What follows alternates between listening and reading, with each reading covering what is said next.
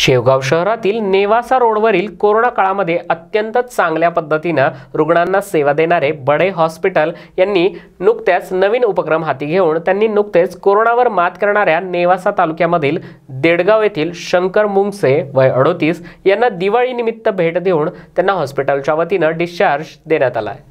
मुंगसे यांची corona taste केली असता त्यांचा चोवीस स्कोर आला असता. त्यांना एकोणीस दिवस अतिदक्षता विभागात वेळोवेळी हॉस्पिटलच्या वतीनं योग्य तो उपचार करून त्यांना यावर मात केल्यानं हॉस्पिटल प्रशासनाच्या या कामगिरीची दखल घेत हॉस्पिटलचे सर्वेसर्वा डॉक्टर सोमनाथ बडे डॉक्टर शुभांगी बडे यांनी कोरोना रुग्णास दिवाळी भेट देत आपले कर्मचारी वृंद यांचे देखील आभार मानलेत. यावेळी ॲडव्होकेट संजय सानप अरुण गर्जे आरोग्यमित्र किरण गुजर बाळासाहेब जगदाळे लॅब असिस्टंट अविनाश सुकुंडे सिद्धार्थ बडदे आदित्य मगर विशाल काळे विकास हवाले सचिन खाडे ज्ञानेश्वर बडे आदी मान्यवर यावेळी उपस्थित होते.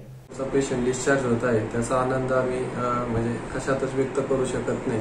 आणि तो पेशंट बरा होऊन जातोय ही खूप मोठी गोष्ट आहे. आणि यामध्ये सर्वांचं माझ्या स्टाफचं सगळं सगळं सह सहकार्य आहे.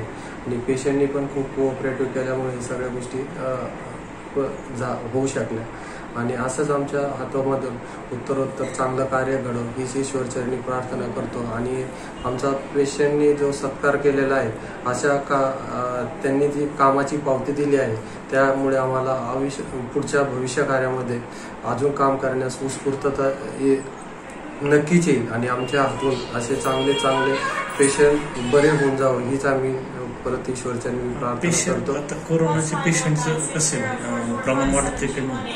आता सध्या जर तसं ओव्हरऑल पाहिलं तर ब- को- कोरोनाचे पेशंट कमी होत चाललेले आहेत. लोक लोकांना पण काळजी काय घ्यायची हे आता बऱ्यापैकी समजलेलं आहे. तसेच व्हॅक्सिनेशन पण बऱ्यापैकी झालेलं आहे. त्यामुळे व्हॅक्सिन घेतल्यामुळे जरी समजा कोविड झाला तर तुमचे त्या लक्षणं जे आहेत ते तीव्रता जी आहे ती कमी आहे.